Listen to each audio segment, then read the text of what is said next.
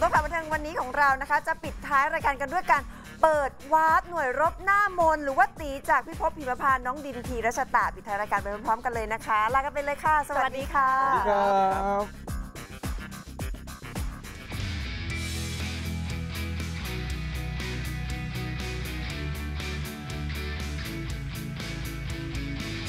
สวัสดีครับ ผมดินธีรชตะนะครับ รับบทเป็นตีครับ ในเรื่องพิภพพิมพานต์ครับ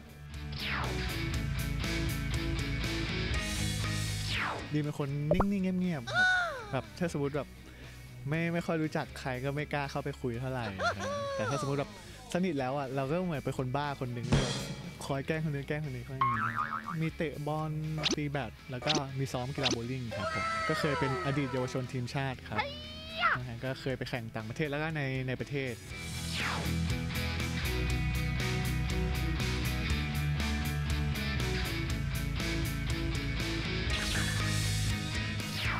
สเปคสาวๆนะฮะดินชอบผู้หญิงที่หุ่นมากกว่าหุ่นแบบฟิตฟิตเนสประมาณนิดหน่อยประมาณนั้นนะแต่ไม่ได้แบบมีกล้ามเลยครับ เป็นตัว S หน่อย จะรู้สึกแพ้ฮะชอบคนที่ไม่ไม่ค่อยจุกจิกฮะมันแบบเหมือนดูเป็นผู้ใหญ่กว่าเราแล้วก็อายุเยอะกว่าเราฮะคิดยังไงบ้างกับบทตีที่เราได้รับรู้สึกว่าดีใจครับที่แบบผู้ใหญ่เขาเห็นเราแล้วก็ให้เรามาเล่นบทนี้ แล้วก็มันมันได้ท้าทายตัวเองด้วยคือแบบเราต้องเล่นกับ CG แล้วก็เจอแบบรุ่นพี่ที่แบบ มีฝีมืออยู่แล้ว ติดตามดินหรือตีได้นะครับ ทาง IG นะครับ ดินจุดทีรชตะอาครับผม ก็ในนั้นก็จะอัปเดตผลงานมาเรื่อยๆครับว่ามีผลงานอะไรบ้าง ฝากละครเรื่องพิภพหิมพานต์ด้วยนะครับ